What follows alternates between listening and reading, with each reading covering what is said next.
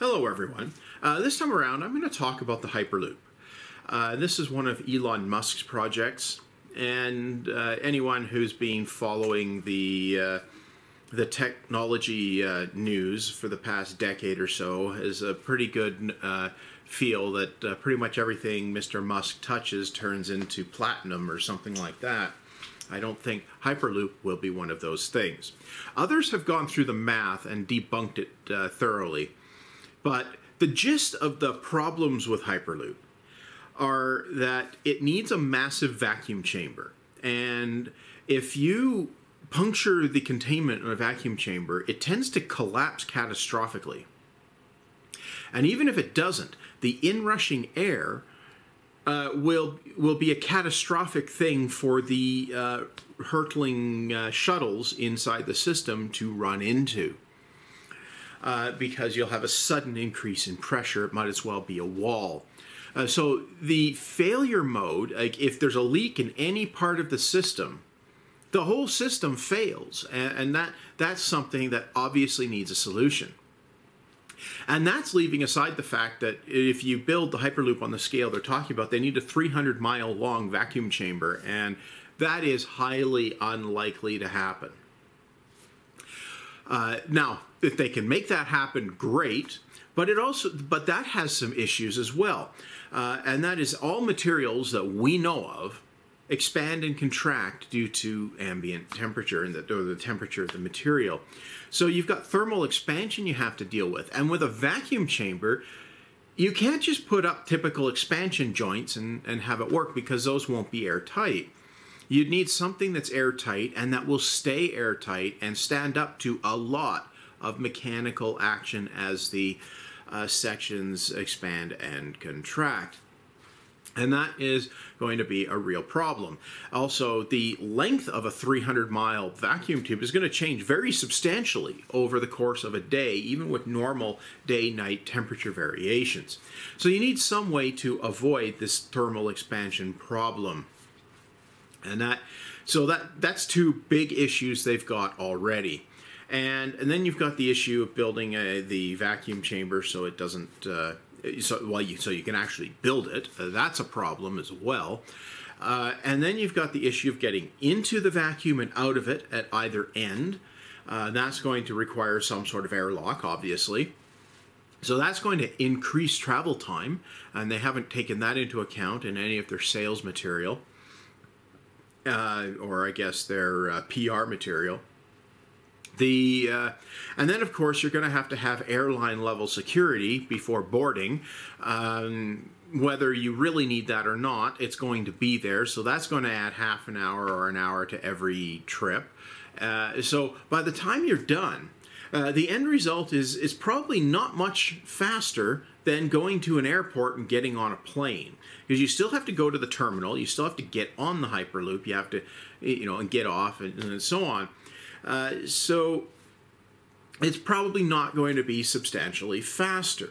Now you could uh, probably for the same price build an, a, a, classic high-speed rail line uh, which we do know how to build and can build over hundreds of miles and end up with a reasonable uh, uh, transit time uh, that uh, is comparable to at least airlines and uh, has much less catastrophic failure modes. Uh, that is, a train crashing at San Francisco doesn't automatically destroy a train leaving Los Angeles. Uh, so the system is more resilient. Now, obviously, a train crashing at full speed is going to be dangerous. Uh, and there's uh, you have a relatively low probability of surviving some, a crash like that if the train stops suddenly when it's going 200 or 300 miles an hour. So, uh, realistically, probably a high-speed rail line is is going to be more cost-effective than trying to build the Hyperloop. Now, the Hyperloop itself, if they do manage to pull off the technology to make it work, well, that will be seriously impressive and it'll be worth whatever accolades they get if they do pull it off. Even if they pull it off on a much smaller scale, it'll still be worth accolades because it will be a seriously impressive engineering and potentially scientific achievement. Uh, so I, you know, I am pulling for them to succeed in at least building a prototype that works, because realistically, it should be possible to build something that works.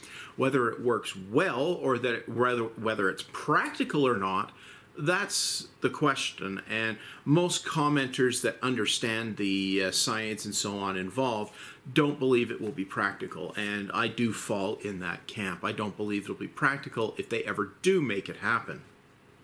Now, uh, I have another take on the whole Hyperloop operation.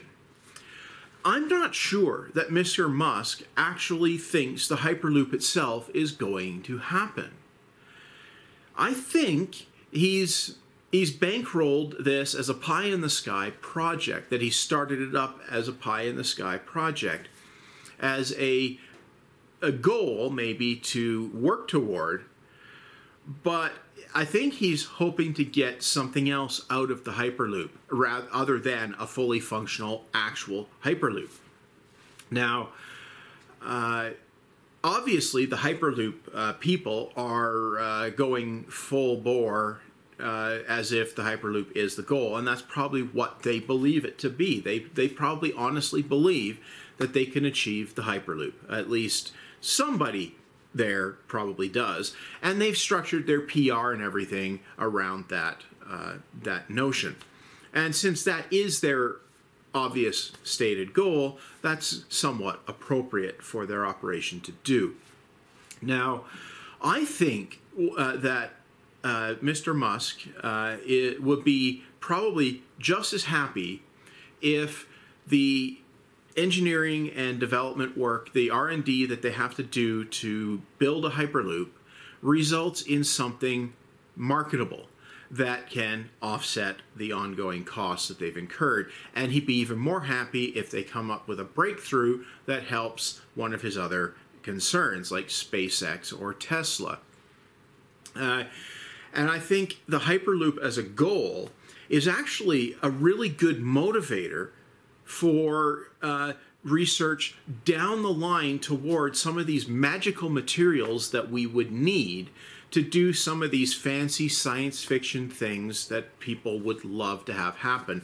Things like a space elevator.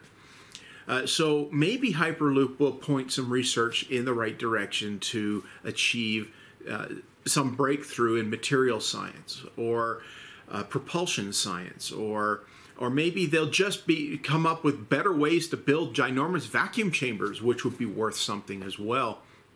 So uh, it may be that even if Hyperloop never happens, the Hyperloop company itself may end up turning out to be profitable in the long run, uh, and that would be that would be uh, impressive all on its own, and that would be a good end result.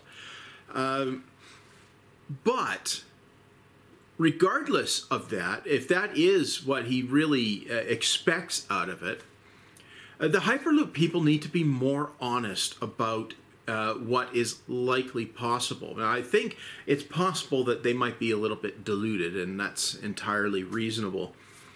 But they need to be a little more realistic about what's really possible, uh, especially with current technology. Now, they've obviously been doing work and they've had their competitions and they've got test tracks and all of that stuff. And they're they're working on things and, and maybe they'll they'll get something that works. And I'm pulling for them. You know, I really want them to manage to build something that resembles a real Hyperloop. Uh, just because uh, it would mean that something cool has been done and they will have learned something in the process. And the whole world will have learned something in the process. But I also hope that if they do fail to achieve it, that they're honest with what they have attempted to do to achieve it, and that they do cut their losses if they realize that they can't do it. Rather than stringing along investors and so on for a decade or two while they uh, they fiddle around. So uh, it's it's really a question. Uh, maybe maybe what we need is for uh, Musk and Hyperloop to come out and say, yeah, we don't know that this is actually possible, and we we think it might be, and we're trying to figure out how, uh, and be fully upfront about that. Uh, instead of just sticking with these whiz bang computer generated graphic presentations with the really, really uh, out there claims in them. Now, there's another possibility with the whole Hyperloop thing. Uh, beyond just the maybe Musk is hoping that they have a scientific breakthrough that helps one of his other concerns or is standalone useful on its own. It might be an elaborate prank in response to some of these hoaxes out there that uh, people have fallen for hook, line, and sinker, like solar. Uh, how, how is it? Uh, Nathan Fillion put it solar freaking roadways. Yeah, um, it, maybe he's maybe it's an elaborate prank to demonstrate that some level of skepticism needs to return to to the general public and the celebrities and, and the news and so on. Uh, and maybe it's just an elaborate multi-million dollar prank. But you know what? I really don't think it is. I think either he really believes in Hyperloop and that it he believes that it will happen, or he's just hoping for it to spur some R&D that is useful on its own. Either way, I don't think that uh, that Musk himself is attempting to perpetrate any kind of a fraud. Uh, and I don't think the Hyperloop people necessarily are either. Uh, I, I think that the people trying to build the Hyperloop are genuinely trying to build the Hyperloop. Uh, but it will be interesting to see what comes of it, and it should be clear in a decade or so uh, if they have any chance of achieving their goal. Probably be clear a lot sooner, but uh, you know, if a decade from now they're no further toward their goal than they are today, then we can be reasonably certain that they're probably not going to achieve it.